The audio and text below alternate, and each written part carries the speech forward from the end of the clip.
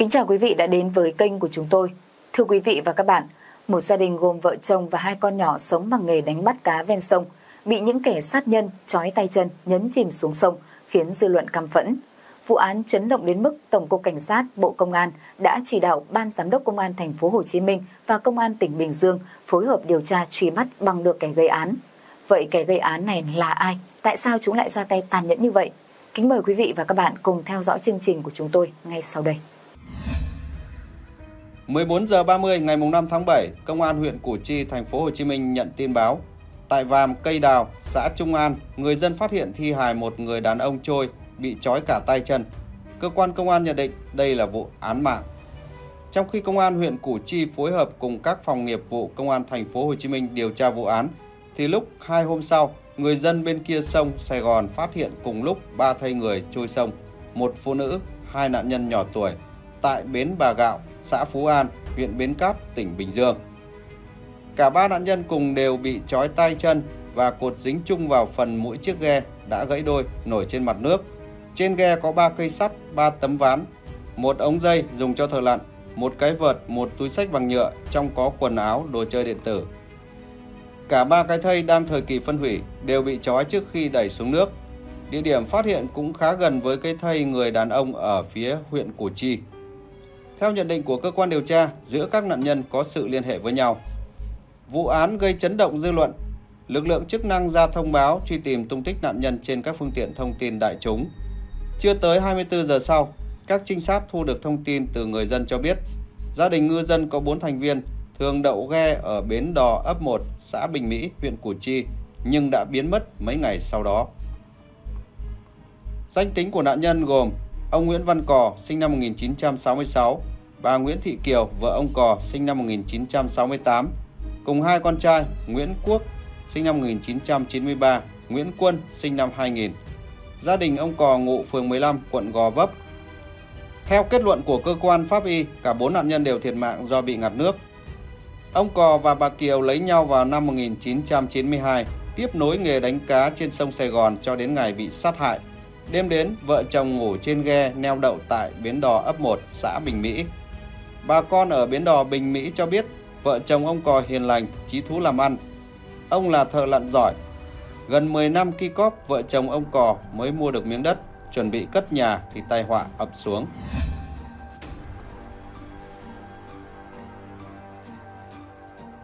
Qua xác minh, nạn nhân có chiếc ghe máy trọng tải 0,8 tấn.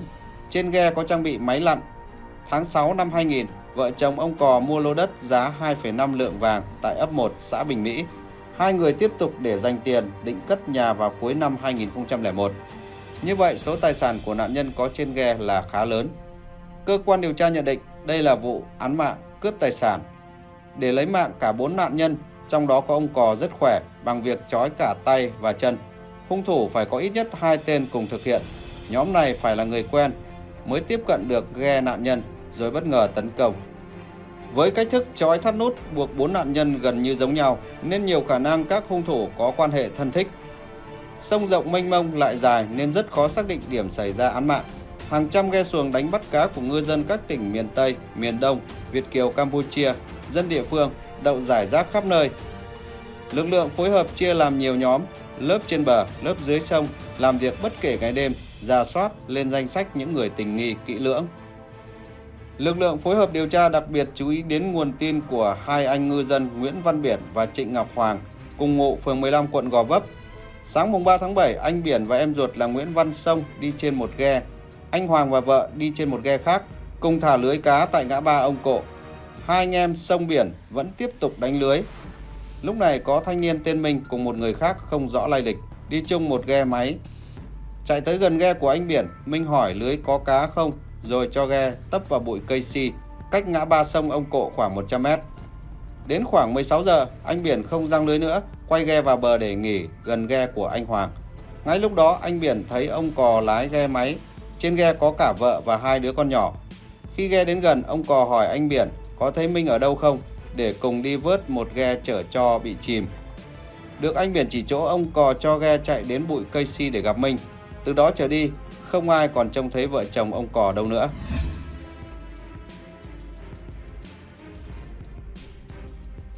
Nhanh chóng xác minh, các trinh sát xác định đối tượng nghi vấn là Nguyễn Ngọc Hoàng Minh, sinh năm 1979.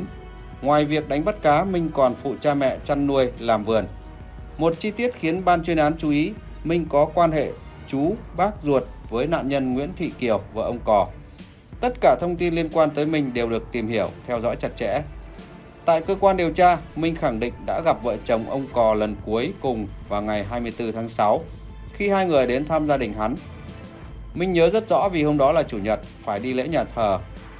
Khi điều tra viên đề cập đến ngày mùng 3 tháng 7, Minh đều tự tin trả lời một cách rất dứt khoát. Từ 9 giờ đến gần 21 giờ ngày mùng 3 tháng 7, Minh cùng đứa cháu đến tiệm Vũ tại ấp 2, xã Bình Mỹ, huyện Củ Chi để sửa xe. Thay nhiều món, tổng cộng là 600.000 đồng.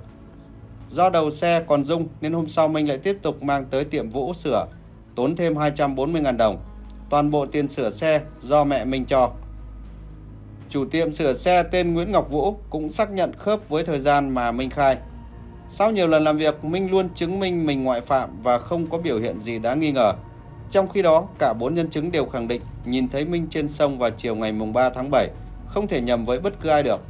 Xác định Minh chính là mấu chốt trong vụ án, ban chuyên án có cuộc họp bàn kế hoạch đấu tranh tiếp theo. Một nguồn tin quý giá mà trinh sát thu thập được, Minh và Vũ cùng hai người khác đã đi nhậu trong ngày Minh sửa xe. Minh xác định có việc nhậu trong quán ở ấp 1, xã Bình Mỹ do Minh bao. Anh Bình người nhậu chung với Minh và Vũ khai Tôi không nhớ chính xác đêm nhậu, nhưng trước đó một ngày thì tôi có thằng cháu bị bệnh đưa đi điều trị tại bệnh viện 512 Bình Dương. Xác minh tại bệnh viện, cơ quan điều tra thu được thông tin bệnh nhân nhập viện ngày mùng 4 tháng 7. Như vậy, ngày Minh sửa xe không phải là ngày mùng 3 mà là ngày mùng 5 tháng 7. Minh và Vũ cố tình khai sai sự thật. Biết không thể đánh lừa được cơ quan điều tra, Vũ thú nhận. Do Minh bảo nói như vậy nên nghe theo. Qua theo dõi, Minh có một số biểu hiện bất thường như không đánh bắt cá trên sông, không đi lễ nhà thờ vào ngày cuối tuần, ít đi chơi với bạn bè hay trầm ngâm suy nghĩ. Chưa hết, trong khi đang sống hoàn toàn phụ thuộc vào gia đình, nhưng gã lại mua sắm nhiều quần áo, giày dép mới. Mẹ Minh có đưa tiền sửa xe, nhưng không phải là 800.000 đồng và phần lớn là tiền lẻ. Trong khi Minh khai trả tiền cho Vũ toàn loại giấy bạc 50.000 và 100.000 đồng. Với những chứng cứ thu thập được, cơ quan cảnh sát điều tra công an tỉnh Bình Dương xác định Minh là nghi can số 1 của vụ án nên ra lệnh bắt khẩn cấp vào sáng ngày 3 tháng 8. Lúc đầu hắn vẫn còn khăng khăng cho rằng mình bị bắt oan.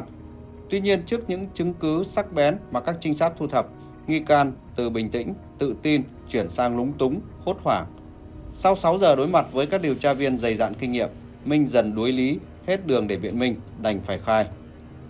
Theo lời khai ban đầu của Minh, chủ mưu trong vụ thảm sát cả gia đình ông Cò là vợ chồng và hai con của Thông, cùng là ngư dân đánh cá trên sông Sài Gòn.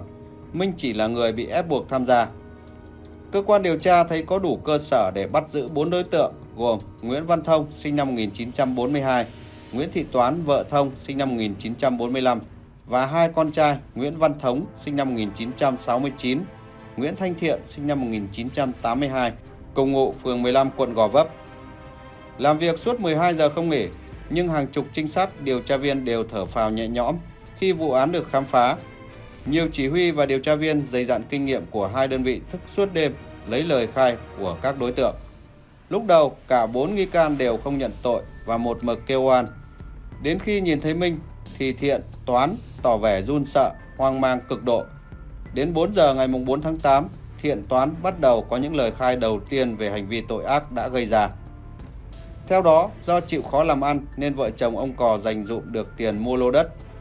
Điều này khiến Thông đố kỵ, ganh ghét nhưng không nói ra. Khi đánh bắt được cá, bà Kiều mang ra chợ bán cũng có phần rẻ hơn Xuyến, vợ Thống.